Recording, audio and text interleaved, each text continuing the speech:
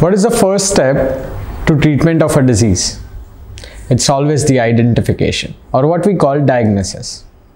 Well, diagnosis of any disease or condition in your body is done through biomarkers. A biomarker is nothing but a physiological molecule or any other metabolite in your body that goes up and down and suggests a normal or an abnormal process in your body.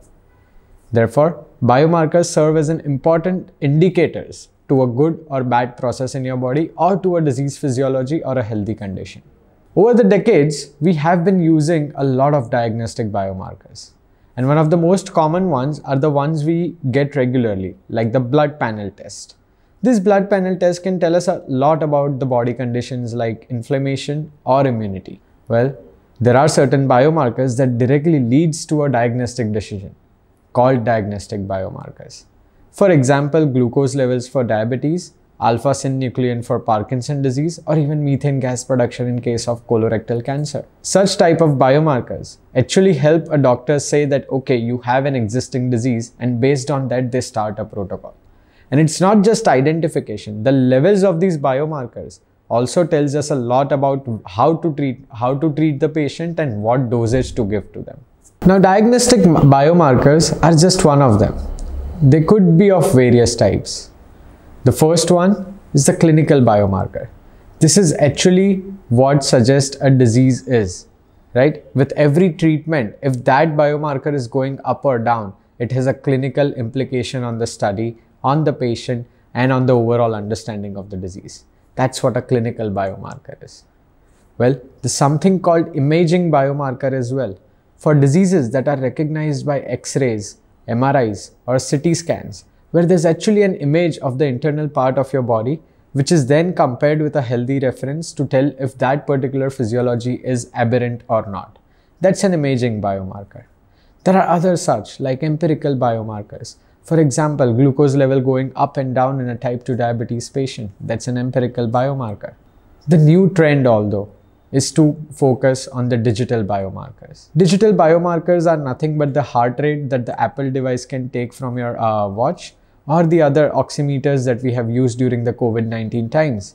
These are actually digital biomarkers and they it's it's taken through a digital device and it tells a lot about how your body is functioning and how it might function going ahead in the future.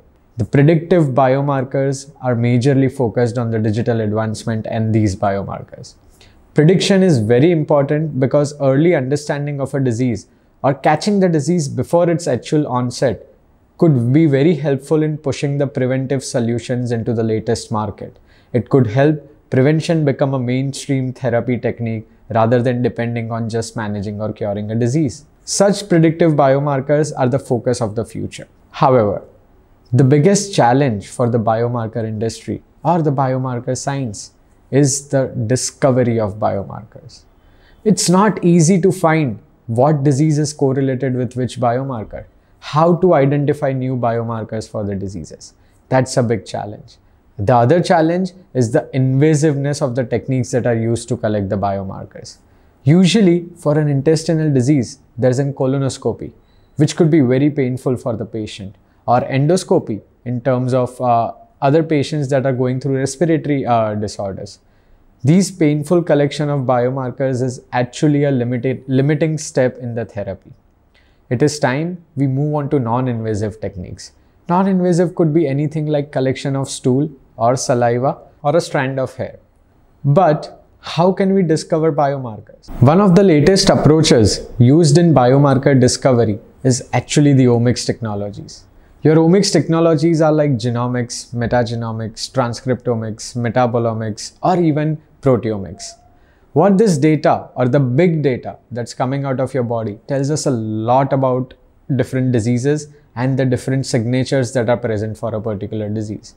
For example, if we collect a lot of omics data from a particular population and if we see a particular signature repeating throughout these patients, it becomes a biomarker.